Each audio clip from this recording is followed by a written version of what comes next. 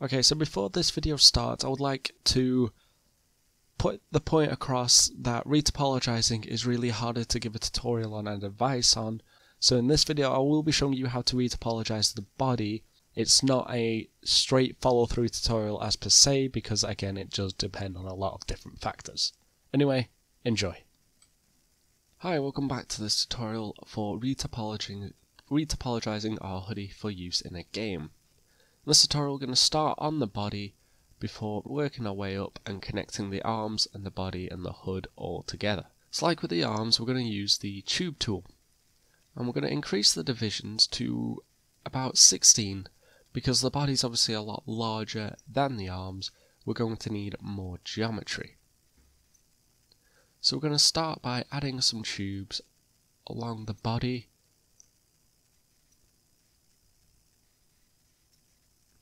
remembering to add more in places of deformation or geometry changes.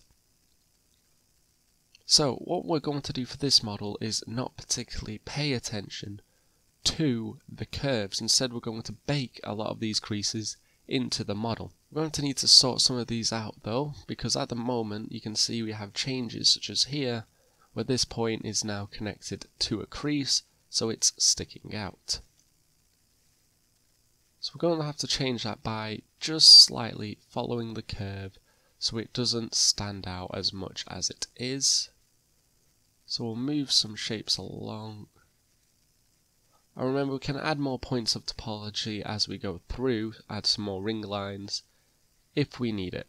At which point in this we probably will so we can sort out topology with all these creases.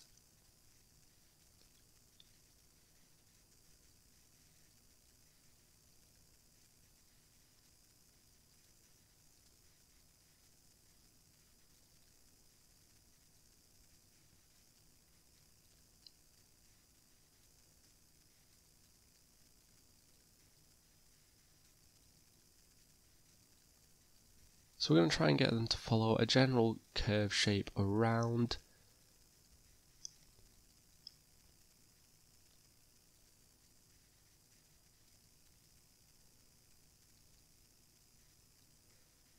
So now as you can see this line goes all the way around that curve, round the back and up this one. And we're going to try to keep each side pretty similar.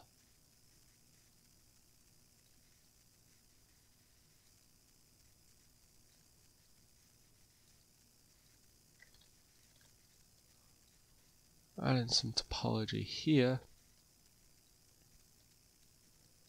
And we can follow that line a little more closely. We'll do the same over here to try and keep the sides similar and we can also use it to again keep following that topology.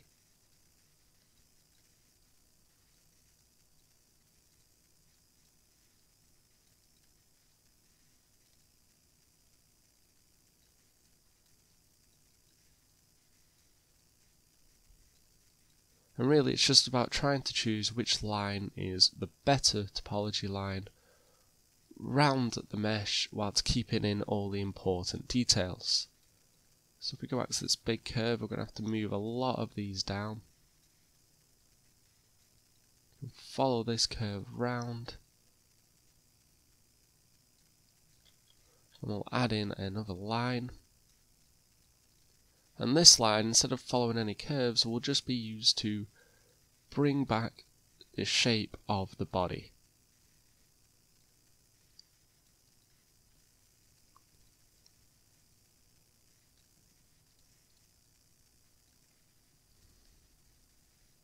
To go back to options and turn on smooth shade so we can get a more realistic idea of how this is looking.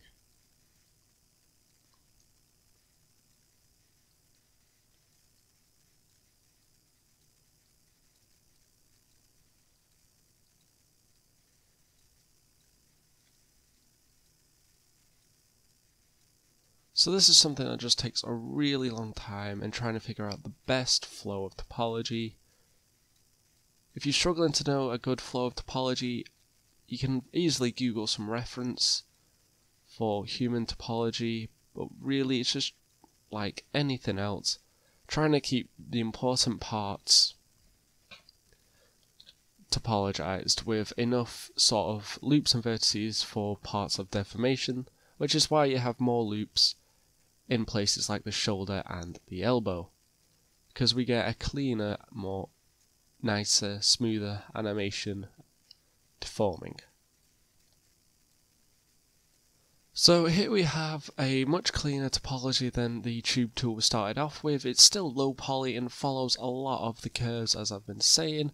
Like I said, it's mainly just down to the sort of model you do have and just trying to keep that topology clean as you follow it. Things like this square here I need to change because that sort of stretch quad should be avoided. Obviously sometimes you can't really help it and if it's in a place where the animation doesn't rely on too much then you should be able to get away with it, kind of like here, where we're not really going to be animating that part of the body separately. But if it was somewhere like the elbow, then you do want to try and keep the quads as clean as you possibly can. As always, you can add in more topology if needed, so this sort of curve here, I should probably move up to try and keep it much cleaner, and then I'm just going to add another loop between it and the bottom one. Ideally, a high poly model would probably have about 2000 triangles, so that would be 1000 faces. So we do still have quite a nice budget to work with, and we can go in and optimize it a bit more in the later stage. So there I've just added in that line and everything's looking a bit nicer and a bit cleaner. In the next video we'll work on finishing off this part of the body and connecting up the sleeves with everything and then starting the hood. One more thing is for a better topology, you want to try and keep the middle of the body a straight line. So if you just use this symmetry button to enable symmetry, and then choose these center ones, you can see we have this green dot which the vertices is snapping to, and that's going to make it snap to the middle of the mesh. So that's going to help for UV unwrapping. However, as you can see at the back, when we try and grab one of them, it's just going for both of these vertices here. So an easy way to do that would be to turn it off, add in a loop, and we can just move everything off to the side a little bit.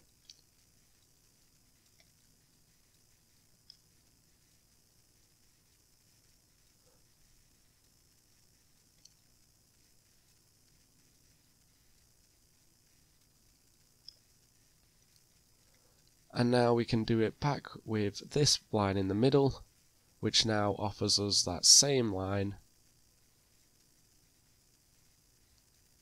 And this helps for texturing and animation because that's like the middle of the spine the middle of the chest. So we've got some reference points there. Again we've added in some topology but if it's getting a bit too much for the final model we can just take some out and optimize it a bit more at this point, we're trying to focus on getting that shape as low poly as possible, but we do have that final bit of amendment before exporting the garment and UVing it and texturing it and all that, where we can remove some lines that we don't need. So I hope you enjoyed the video, leave a like if you did, a dislike if you didn't. If your opinions otherwise, have any comments, questions, suggestions or advice, just leave in the comments down below, I'll get back to you as soon as possible. And as always, don't forget to subscribe if you want to see more. Thanks, guys. Bye.